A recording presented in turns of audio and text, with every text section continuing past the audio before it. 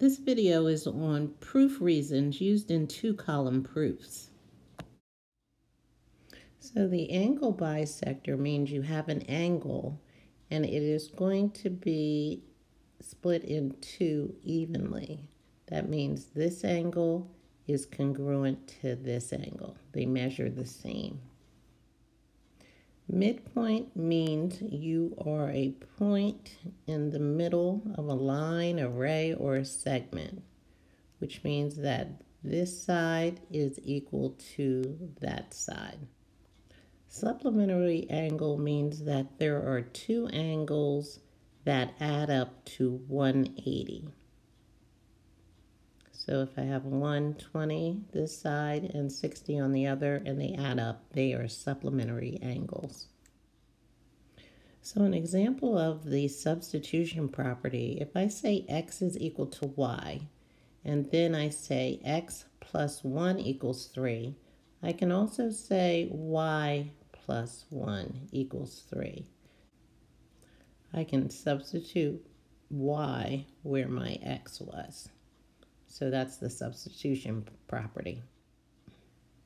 The transitive property is when you say A is equal to B and B is equal to C, that means I can say that A is also equal to C.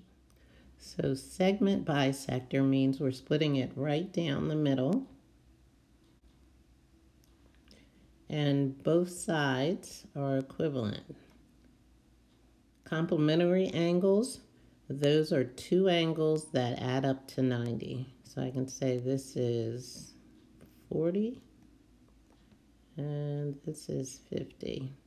So these two angles would add up to 90. Vertical angle, that means when you cross two lines, this angle is equivalent to this angle. Likewise, this angle is equivalent to this angle. So let's say this is 40. This means this side is 40. And then lastly, the reflective property. We have a common line, DE. And what reflective property means is DE is congruent to itself, DE. So here's a brief quiz on common reasons used in proofs. I recommend that you pause the video and see if you can answer the questions.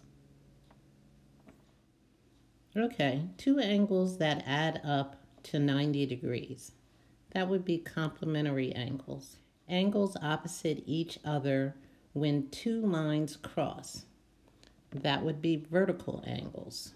Congruent to itself the reflective property. Line divides an angle into two equal parts, angle bisector. Two objects congruent to the third, first and third are also congruent. That's the transitive property. Replacement of a piece of equal value. That would be the substitution property. Two angles that add up to 180 degrees supplementary angle. Point on a line segment creates creating two equal parts, a midpoint.